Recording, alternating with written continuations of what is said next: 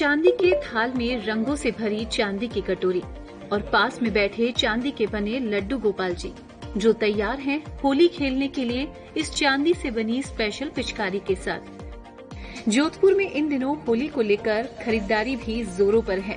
इन्हीं तैयारियों के बीच बाज़ार में पहली बार चांदी की पिचकारी, बाल्टी, लड्डू गोपाल जी, कलर की कटोरी खूब पसंद की जा रही है।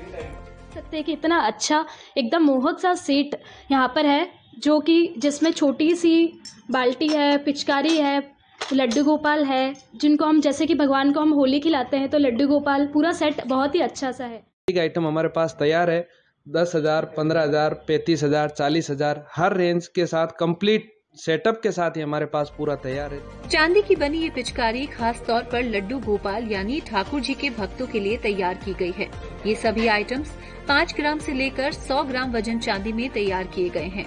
जिसकी एक सेट की कीमत बारह हज़ार ऐसी चालीस हज़ार रूपए तक रखी गई है। दैनिक भास्कर के लिए जोधपुर से अरविंद सिंह की रिपोर्ट।